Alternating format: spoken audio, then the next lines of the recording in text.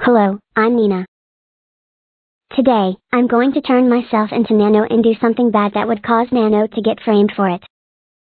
I will stab the wall with a knife. I hope that douchebag gets framed for it. But first, let me change my size to 105%. Second, let me change my color to Nano's color. Second, let me change my voice to tenor. Ha ha ha ha ha ha ha ha ha ha ha ha ha. Now I've changed my voice to tenor, changed my color, and changed my size. Let's do it. Ha ha ha ha ha ha ha ha ha ha ha ha ha ha. I've stabbed the wall with a knife. Now I have to reset all by myself using Scratch Logic. Scratch Logic activate equals reset all by myself. That's better. Now let's go to class to see the result. Nano Nanderson, report to my office right now. Uh-oh. Um, why are you out here instead of in your office?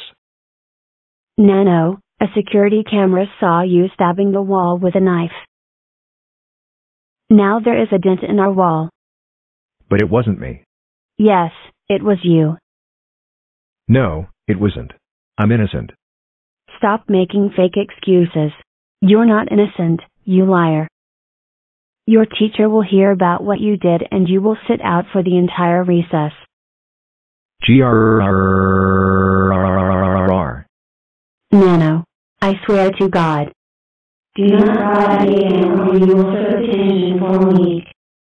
None of this is fair that I told the truth, got framed for it. And now I'm sitting out at recess for no reason. Whoever who framed me will be sorry.